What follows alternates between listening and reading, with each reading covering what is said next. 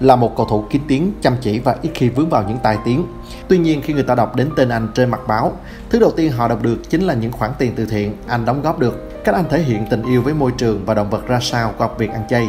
Tuy vậy, cầu thủ người Tây Ban Nha còn có nhiều điều để chia sẻ hơn thế. Trong những năm gần đây, League Cup luôn bị người hâm mộ của các đội bóng và các huấn luyện viên than phiền. Với các câu lạc bộ thuộc top đầu, giải đấu này chỉ gây thêm trở ngại cho họ hơn là tạo cơ hội, dù đôi khi nó cũng giúp các cầu thủ trẻ có cơ hội được vào sân. Một trong số đó đến vào tháng 9 năm 2013, khi Mikel Arteta được thay ra ở phút thứ 5 hiệp phụ bằng một cầu thủ trẻ đồng hương, tên anh là Hector Bellerin. Cả bố và mẹ anh đều tạo ra sự ảnh hưởng lên tương lai của anh.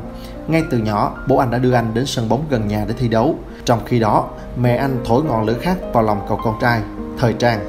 Vào năm 2003, cậu nhóc 8 tuổi quyết định gia nhập lò La Masia của Barcelona. Đến năm 16 tuổi, sau một chuyến thăm sân tập, cũng như được gặp gỡ Arsene Wenger, Hector Bellerin chính thức gia nhập pháo thủ.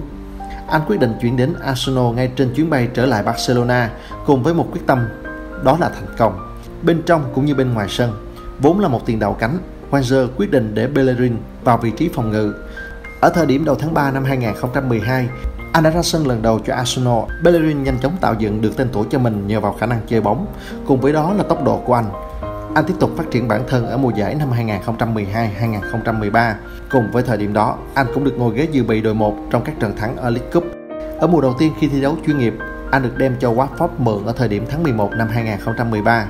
Thi đấu ở vị trí hậu vệ cánh phải, dù khởi đầu chậm chạp, Bellerin nhanh chóng tạo ấn tượng cho người hâm mộ sân Vicarage Rock. Sau đó, một trong số đó là trận hòa 3-3 trước Leeds United, trận đấu mà Bellerin đã lĩnh sướng một pha phản công Khởi đầu của Bellerin ở Arsenal diễn ra đúng theo cách anh khởi đầu ở Watford. Một bàn thắng ở phút bù giờ trong trận gặp Hull City. Khi Chamber một lần nữa trở lại thì Bellerin lại phải đợi tới 2 tháng để trở lại trong trận gặp Stoke. Cầu thủ người Tây Ban Nha tiếp tục có cơ hội ra sân vào tháng 1 năm 2015. Anh nhanh chóng có được màn thể hiện ấn tượng trong trận thắng 3-0. Nhờ đó, liên tục được ra sân ở vị trí hậu vệ phải 3 trong số 17 trận còn lại. Có thể nói, Bellerin đã thực sự trưởng thành. Anh ghi bàn hai lần trong khoảng thời gian này Bellerin sau đó thi đấu đủ 90 phút trong trận chung kết FA Cup gặp chính Aston Villa để đạt danh hiệu đầu tiên của mình. Và mùa giải sau đó, anh tiếp tục tỏa sáng khi giành được Community Shield trên sân Wembley ở trận thắng Chelsea. Và rồi, Bellerin trở thành cái tên hàng đầu ở vị trí hậu vệ phải của Arsenal. Mùa đó anh giúp Arsenal đạt vị trí thứ hai ở Premier League, đồng thời trở thành đại diện duy nhất của họ trong đội hình của năm do PFA bầu chọn. Cũng ở thời điểm đó, Bellerin đã chia sẻ với The Times trong cuộc phỏng vấn rằng anh đã đăng ký khóa học trên mạng 6 tháng của Đại học Philadelphia.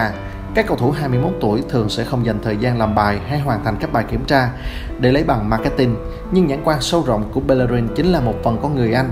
Anh cũng rất quan tâm tới môi trường, từng đổi chiếc Mercedes của mình lấy chiếc xe điện Tesla. Cầu thủ người Tây Ban Nha cũng chính thức ăn chay kể từ năm 2016, cho rằng đây là yếu tố chính giúp anh đạt được 100% tiềm năng của mình.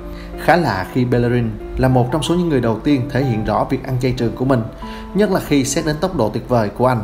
Có nhiều lời đồn về việc anh đã phá kỷ lục mà Theo Walcott thiết lập được.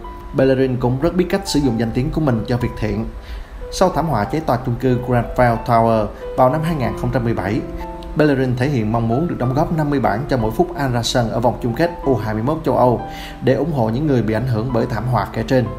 Những hành động này của Bellerin đã nhận được nhiều lời khen ngợi khi anh đến dự tuần lễ thời trang vào năm 2018 và mặc trên người bộ pyjama cùng với một đôi dép ngủ 650 bản. Thực sự khó hiểu, đó chính là cách mà Daily Mail dùng để miêu tả cách lựa chọn đồ của anh. Niềm đam mê dành cho thời trang của Bellerin chính là một phần con người anh ấy, nhất là khi mẹ và bà ngoại của anh sở hữu một xưởng may. Nâng niu truyền thống này chính là cách để Bellerin gần gũi với gia đình mình hơn. Trong khi đó, việc đóng góp cho các nạn nhân vụ cháy Grenfell xuất phát từ việc đồng cảm với người bạn bị ảnh hưởng bởi vụ cháy, cũng như việc nó xảy ra ở thành phố anh coi như là quê nhà thứ hai của mình. Ở thời điểm gần đây, người ta lại thấy anh trên sàn catwalk cho Louis Vuitton. Khi những người này không biết họ nói gì, thì chúng ta không cần phải nghe. Tôi sẽ luôn làm điều đó, dù ai nói gì đi nữa, đó là con người tôi. Dù đam mê nhiều thứ, nhưng điều Bellerin chú tâm vẫn là bóng đá. Buồn thay cho anh, những tiến bộ của anh bị gián đoạn bởi chấn thương xảy ra vào tháng 1 năm 2019 và sau đó là chấn thương dây chằng chéo, khiến anh phải ngồi ngoài ở thời điểm trước khi Covid-19 xảy ra. Bellerin khi đó đã cạo đầu và cũng như mọi lần, truyền thông lại đưa ra những lời chỉ trích, còn Bellerin chỉ biết cười xòa.